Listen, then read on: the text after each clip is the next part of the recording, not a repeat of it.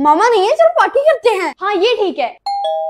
ये कौन आ गया? जाओ देखो कौन आया है। कौन आ गया मेरी पार्टी खराब करने? अली भाई आए हैं। अली भाई कौन? वो जुबेदा खाला के बेटे। उन्हें अंदर न बुला लूँ। नहीं रुक जाओ मैं मामा को कॉल करके पूछती हूँ। जी मामा ठीक है। क्या कह रही है मामा? उनको बोला जब बाबा आए तब आना। आज खाने में क्या बनाए? मैं बताऊँ? कोरमा बना ले।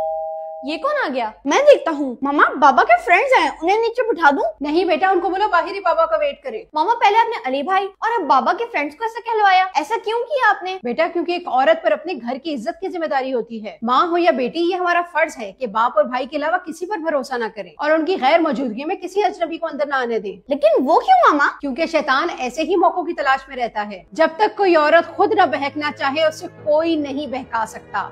हाथ लगाना तो दूर की बात, कोई आपकी तरफ़ मैली निगाह से नहीं देख सकता, जब तक आप खुद ना चाहे।